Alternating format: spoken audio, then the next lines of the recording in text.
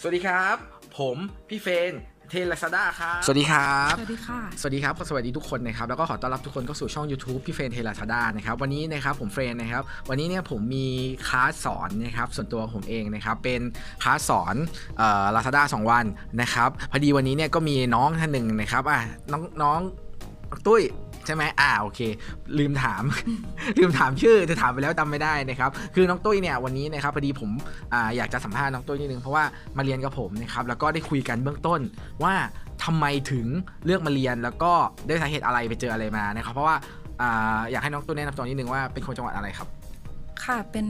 คือชื่อตุ้ยนะคะ เป็นคนจังหวัดตราดอืมค่ะ ครับเป็นคนจังหวัดตราดคราวนี้พี่ขออนุญาตถามเลยค่ะนะครับไม่เสียเวลาคราวนี้เนี่ยอ่าวันนี้ที่ตัดสินใจมาเนี่ยนั่งรถมาจากจังหวัดตราดเลยถูกต้องไหมค่ะ มาจากจังหวัดตราดเลยนะครับตอนนี้ตุ้ยทำอาชีพอะไรอยู่ครับ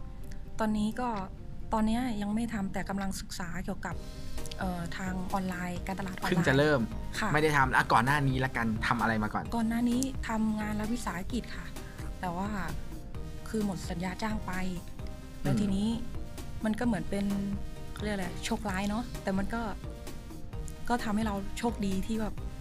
อยากจะรู้ว่าคนที่เขาสำเร็จอะครับเขาทำกันยังไงอ่าเขาไปทางไหน อ่า คราวนี้ถึงตรงนี้นะครับ มีการพอดีผมมีการพูดคุยก่อนก็เลยว่าเออสนใจในในหัวข้อนี้นะครับ เพราะว่าอ่าน้องตุ้ยนะครับ อยู่จังหวัดตราดทำงานรัฐวิสาหกิจนะครับทำงานรัฐวิสาหกิจแล้วคราวนี้หมดสัญญาจ้างอืมก็เลยว่าง แล้วช่วงที่ว่างเนี่ยเอาเงินจากไหนอะ ก็เงินเก็บจากการที่เราทำงานมาค่ะครับว่างมากี่เดือนแล้วครับเนี่ยสามค่ะ สามเดือนแล้วแล้วก็คือใช้เงินที่เราเก็บจากงานประจำแสดงว่าก็ถือมีมีมีอยู่ก้อนหนึ่งเหมือนกัน ค่ะ ที่พอจะเลี้ยงตัวเองค่ะ นะครับอะแล้วตอนเนี้ยพอเราเราเราไม่ทำงานประจำแล้ว เราหมดสัญญา เราคิดยังไงว่าเฮ้ยอยากจะทำอะไรต่อ เราเริ่มจากอะไรครับ คือมันพอมันสักสามเดือนแล้ว มันก็เริ่มกดดันอือฮึเฮ้ยแบบ เราจะต้องทำทำอะไรสักอย่าง แล้วในช่วงแบบรู้สึกว่าเศรษฐกิจเนาะด้วยเศรษฐกิจแล้วเราหางานก็ยาก อืมอืมทั้งแบบราชการแล้วก็เอ่อบริษัทเนี้ยก็เริ่มปิดตัวลงอ่าฮะเราก็เลยคิดว่าพอแล้วเราหันมาทำอะไรเองดีกว่า หันมาทำอะไรดีกว่าเดี๋ยวนะ คือในขณะที่ตัวเราเองเนี่ยก็เพิ่งตกงานมา มีเงินเก็บอยู่ก้อนหนึ่งไม่อยากหางานใหม่แล้ว อยากจะทำอะไรเองดีกว่า ค่ะ ความคิดเนี้ยเริ่มเมื่อไหร่ ก็พ อมันเริ่มแบบเอ้ยมันเริ่มเวลระยะเวลาคแบรับบนานผมขึ้น แล้วมันก็เริ่มแบบเริ่มกดดันแล้วนะ อืม เราก็เลยต้องไปตามหาว่าทำอะไรดี ทำอะไรดีอะต้องตามหาก่อน นะครับ คราวนี้อยากจะตามหาแล้ว 3 เดือนที่ตกงาน เรามีค่าใช้จ่ายส่วนตัวนะครับ แต่ว่าด้วยความที่ว่าเราอยู่กับบ้านถูกต้องไหม ถูกค่ะก็ก็เลยไม่ได้มีค่าใช้จ่ายอะไรมากก็โชคดีคืออยู่กับบ้านตัวเองก็เลยค่าใช้จ่ายไม่มีก็คือกินข้าวอยู่กับบ้านที่พักก็ไม่เสีย ค่ะใช่ไหมครับ ธรรมดาเลยค่าน้ำค่าไฟค่าน้ำค่าไฟโทรศัพท์อะไรอ่าธรรมดาก็คืออยู่กับครอบครัวคุณพ่อคุณแม่ค่ะ ถูกต้องไหมอะคราวนี้จุดเริ่มต้นที่เราไปเริ่มค้นหาว่าเราอยากจะมาจะทำขายสินค้าออนไลน์เนี่ยจากไหนครับ จากรุ่นน้องเห็นเขาแบบภายในหนึ่งปี มีรถเบนซ์ แล้วก็อืมสามารถแต่งงานได้ อืมผู้ชายน้องน้องนี่ผู้ชายผู้หญิง ผู้ชาย ผู้ชายคือภายในหนึ่งปี สามารถใช่ที่จะออกรถเป็นของตัวเองได้ ใช่ แล้วก็เอาเงินเก็บไปแต่งงานได้ด้วย ใช่ อ๋อเราก็เลยจุดประกายเฮ้ยเขาทำอะไรวะใช่ไหมใช่เอออันนี้สำอันนี้ประเด็นสำคัญนะครับ ด้วยความที่ว่าตัดสินใจว่า เฮ้ย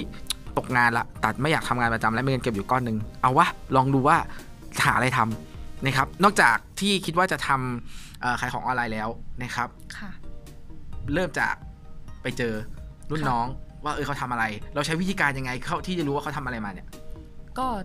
เข้าไปดูใน Facebook เข้าไปดูใน Facebook อ่าแล้วไงต่อ แล้วก็ไปดูที่เขากดถูกใจ กดถูกใจครับ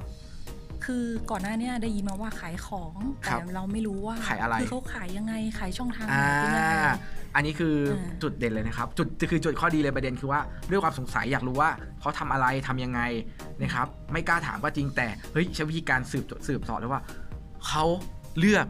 จะทำแบบไหน ไปขายยังไงกดถูกใจเพจใครเพจไหนถูกต้องไหมแล้วไปแล้วไปเจอเพจไหนบ้างครับไล่ไม่หมดนะครับเยอะเยอะมาก แล้วก็ส่วนหนึ่งคือเจอเจอเพจพี่ด้วยใช่ถูกต้องไหมครับ เจอเพจพี่แล้วก็คือเข้ามาดูคลิป เรื่องการสอนค่ะ เนี่ยครับ ก็ดูคลิปนานไหมอะกว่าจะตัดสินใจมานั่งเรียน ก็ประมาณไม่นานนะประมาณสักปลายปีเองปลายปีที่แล้วก็ประมาณเดือนหนึ่งเดือนหนึงที่ผ่านมาค่ะได้ไหมครับดูคลิปแล้วก็รู้สึกว่าเอ้ยอยากจะต้องมาเรียนละนะครับใช่ไปเรียนรู้พอดีแล้วคราวนี้เอาจริง ๆของคลิปพี่อะพี่เรียนสอนมีสอนใน YouTube อยู่แล้ว ก็เรียนได้นี่ดูฟรีก็ได้ไม่ต้องมาได้ไม่ต้องมาแบบเอ่อเดินทางมาหรือค่าเรียนทำไมถึงตัดสินใจมาครับ เพราะว่า ก็อยากมามาฟังแบบสอนสดด้วย แล้วก็คิดว่าอืมอยากสำเร็จทางเนี้ย ให้ได้นะครับค่ะจริงๆนอกนอกจากเจอเพจพี่แล้วเนี่ยก็จะมีเพจของอาจารย์ตรีถูกต้องไหมครับ อาจารย์ตรีเอาก็เราก็เราก็ที่บอกพี่คือเตรียมตัว อยากจะไปเรียนของอาจารย์ตรีด้วยส่วนหนึ่งค่ะ ถูกต้องไหมอ่าดี อาจารย์ตรีเนี่ยเป็นอาจารย์ของพี่ท่านหนึ่งนะครับ ก็ยังไงถ้าไปเนี่ยพี่คิดว่าอย่างน้อยเราต้องได้ความรู้แล้วก็มีโอกาสสำเร็จแน่นอนนะครับ หลังจากวันนี้นะครับที่เรียนไปเนี่ยคิดว่าจะเริ่มยังไงต่อเริ่มยังไงก่อนครับ เดี๋ยวจะไปฝึกที่ได้เรียนได้เรียนมา ได้เรียนสองวันเนี้ยอ่า ก็ไปฝึก โอเคเนาะก็ขอให้ตั้งใจนะครับ วันนี้นะครับที่ผมอัดคลิปคุยกับน้องตุ้ยก็คือว่าเห็นความตั้งใจนะครับว่าเฮ้ยบ้านอยู่ต่างจังหวัดตัวเองตกงาน แต่ไม่ได้มีความคิดท้อเรื่องในชีวิตเลย อยากคิดว่าเฮ้ยทำยังไงที่จะเริ่มหางตัวเองแล้วก็ไปสืบเสาะจาก Facebook ของรุ่นน้องที่เขาประสบความสำเร็จมีออกรถจากการขายออกรถแต่งงานนะครับ เก็บเงินจากการ